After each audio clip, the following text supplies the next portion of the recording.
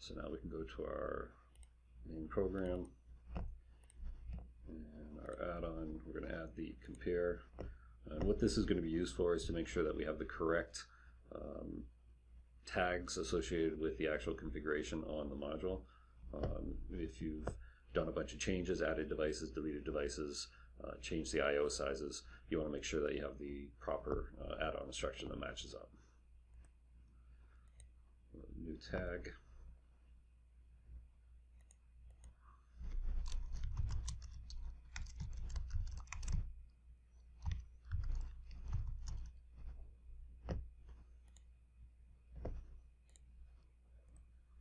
Now the IO mapping CRC uh, is the actual value that we check um, coming from the configuration, so we'll have to actually update this value once we create it.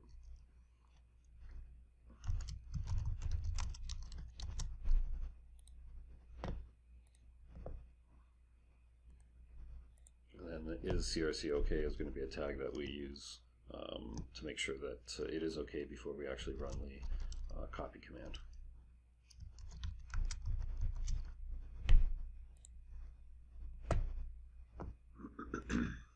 And we only want to do this on the first scan. We only need to run it once. Uh, so we will uh, just run that on the first scan. Now, uh, to update the mapping CRC, we go to our controller tags.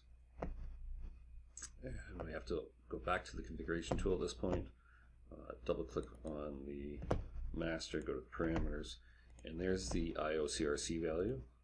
Uh, so we're going to highlight that and copy it.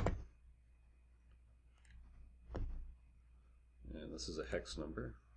So I change that to hex and paste it in there. Now I grab the 0x at the beginning, which we don't want.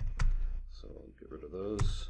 Uh, and there's our value 1795, 2518, and 1795, 2518. So everything's good.